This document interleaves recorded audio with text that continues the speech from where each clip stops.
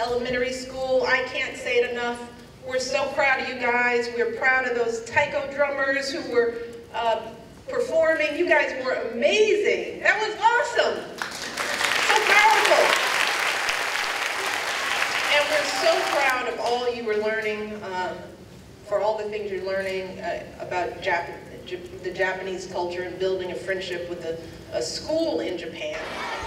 Well, the program is it teaches language, but really they teach the subject matter in the in the target language. So, you know, the students are learning math and science and health, but they're learning it in Japanese. Um, and then in addition to that, of course, there are many cultural uh, aspects that the children learn. Um, you know, anything from Japanese, you know, what is New Year's Day about, to they have opportunity to do taiko drumming, uh, singing songs, those types of things. I'm also very proud of the fact that many American children are interested in Japanese cultures such as animation and comics and manga. We learn how to read and speak and write Japanese.